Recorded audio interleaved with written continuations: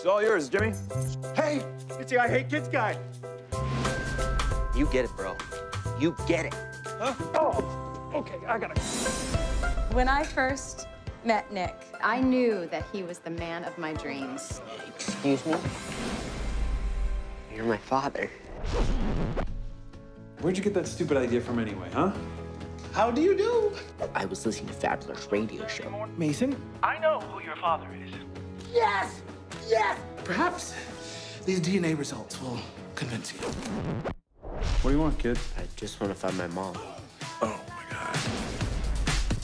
Hey, sweetheart. A little situation came up. I'm telling you, he's up to something. How do you figure out which one's my mother? We're gonna take a little road trip. I was acquainted with a lot of different ladies. Like Carla.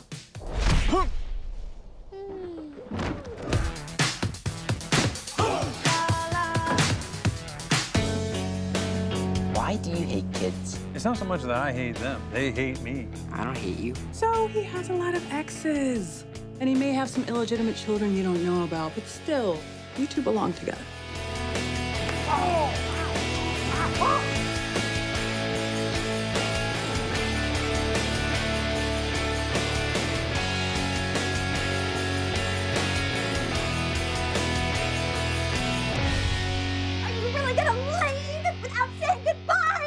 That a flamethrower?